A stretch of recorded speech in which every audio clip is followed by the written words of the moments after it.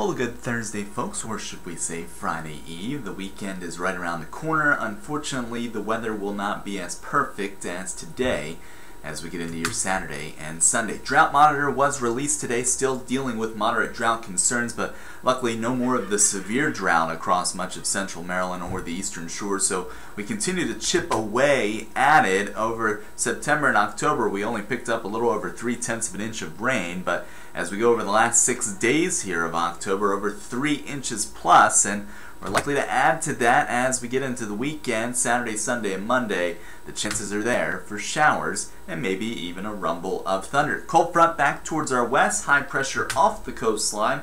That's still giving us return flow and a beautiful day, and you can see where the frontal boundary is across the area. It's 70 here in Baltimore, Richmond, and Charleston, and it's only 30 in Amarillo right now with winter conditions Snow up there in the panhandle of Texas as well as Oklahoma. That low pressure system that is down there will meet up with a little area of low pressure coming out of the Gulf of Mexico. That Gulf of Mexico moisture will surge along the front and that will give us the chance for rain as we get into your Saturday night into Sunday. Futurecast shows some extra cloud cover around for your Friday.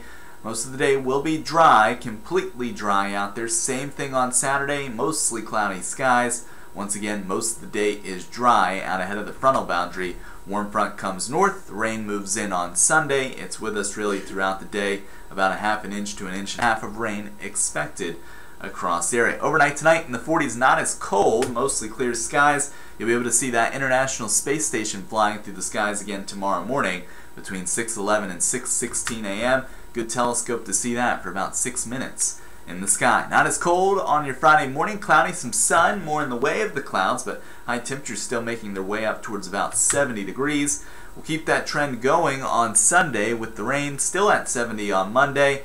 Then the weather pattern starts to change just in time for Halloween with some leftover showers across the area and high temperatures in the 50s. Remember, you can download our free mobile app at WMAR2 News, available at the Apple and Google Play Store, or look us up at WMAR2News.com, Facebook, and Twitter for the latest weather and news updates. I'm meteorologist Erik Taylor.